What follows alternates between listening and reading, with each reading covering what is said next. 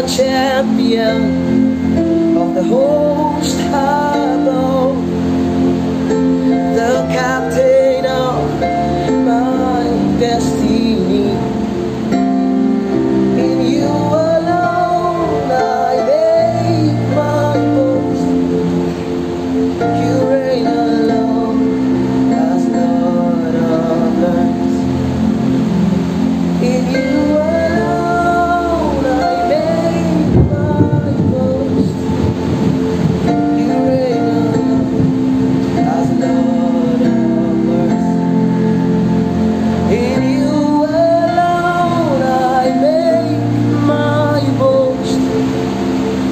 You reign alone.